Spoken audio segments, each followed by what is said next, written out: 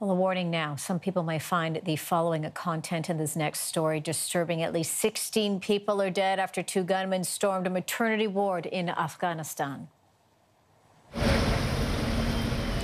Mothers, newborns, and nurses are among those killed in the Kabul attack. The same day a suicide bombing killed at least 24 people at a police officer's funeral in Nangarhar province. Afghan President Ashraf Ghani has ordered a full offensive against the Taliban and other militant groups, ending a period of reduced conflict ahead of U.S. brokered peace talks that had been set to start later this year. Let's bring in CTV's Paul Workman. He's in London right now following this.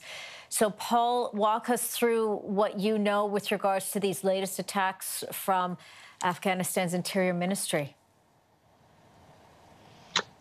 Well, certainly the attack in Kabul was just terrible, horrific. Um, unlike really a lot anything we've really seen in that um, city, and there have been a lot of attacks. Afghans have suffered miserably over the last uh, many, many, many years. But this was extraordinary to go into a maternity hospital and start start shooting randomly at mothers who are giving birth or about to give birth, at nurses, and at newborns. Two newborns um, died, as far as we know. Mm-hmm. As you said, the government has now ordered an offensive to go after the Taliban and any other terrorist groups. This is before um, anybody has even taken responsibility for today's horrible attack inside uh, Kabul itself. There were other attacks in the countryside, but the president has decided tonight he must move.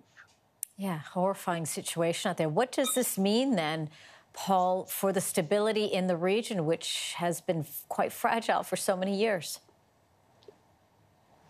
What does it mean for the stability inside Afghanistan? Uh, probably it has shaken and rattled any chances of getting a peace deal of any kind. Of course, the Afghan government has not been involved directly with the Taliban in negotiations.